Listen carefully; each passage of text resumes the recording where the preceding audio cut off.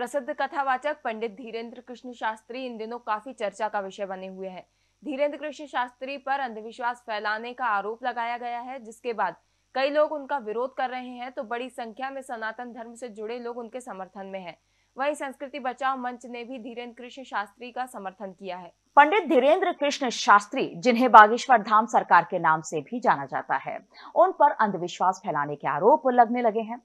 बड़ी संख्या में लोग उनका समर्थन कर रहे हैं। वहीं संस्कृति बचाओ मंच ने भी उनका समर्थन किया है। संस्कृति बचाओ मंच के अध्यक्ष चंद्रशेखर तिवारी ने पंडित धीरेन्द्र कृष्ण शास्त्री का समर्थन करते हुए कहा कि उन्होंने सनातन धर्म को जागृत करने का जो प्रयास किया है, उससे विरोधियों के पेट में दर्द हो रहा है। चंगाई उत्सव में ईसाई मिशनरी क्या भूत भगाने के नाम पर धर्मांतरण नहीं करते?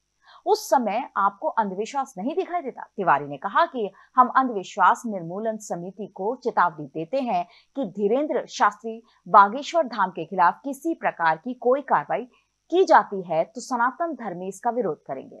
बागेश्वर धाम के धीरेन्द्र कृष्ण शास्त्री जी के खिलाफ जिस प्रकार से अंधविश्वास निर्मूलन समिति ने आरोप लगाया है कि उन्होंने सात दिन की कथा करी और दो दिन दरबार लगाए बगैर भाग गए। संत महात्मा कहीं भागते नहीं है, उनके डर से दुनिया भागती है। चंगाई उत्सव होता, तब तो अंधविश्वास नज़र नहीं आता, तब ईसाइयों की आपको अंधविश्वास नज़र नहीं आता। वहाँ पर जिस दिन धीरेन्द्र कृष्ण शास्त्री जी ने कहा कि हम जो है जंगलों में जाकर कथा करेंगे। तो आपके पेट में मरोड़ उत्पन्न हो गई क्योंकि अब धर्मांतरण कैसे होगा? वो खबरें जो आपके काम की है वो खबरें जो आपके लिए ज़रूरी है। हर आम और खास से जुड़े मसले। हर मसले का सटीक विश्लेषण। हम करते हैं सत्य का अन्वेषण। दखल न्यूज़। आपके हक में। आप देख रहे हैं दखल न्यूज़।